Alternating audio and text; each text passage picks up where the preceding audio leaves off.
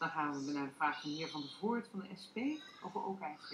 Ja, voorzitter. Ehm, op 10 november 2016 is de motie sporten, ontmoeten en leefbaarheid in neerloon, overlang en kind aangenomen.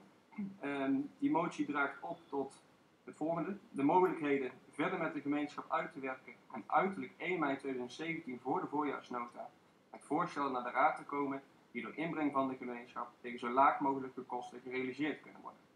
Nou, inmiddels zijn we precies een maand verder en er is nog geen voorstel naar de raad gestuurd. Daarmee wordt geen recht gedaan aan de motie, maar belangrijker nog, er wordt geen recht gedaan aan de NOK-gemeenschap. Daarom heb ik vier vragen. Ehm, waarom ligt er nog geen voorstel voor de raad? Waarom wordt de raad niet actief geïnformeerd over de voortgang van de gesprekken en het proces? Wat is de huidige stand van zaken in de gesprekken met de gemeenschap? En wanneer kan de raad een voorstel verwachten die recht doet aan de discussie binnen de raad, maar ook binnen de NOK-gemeenschap? Bakma.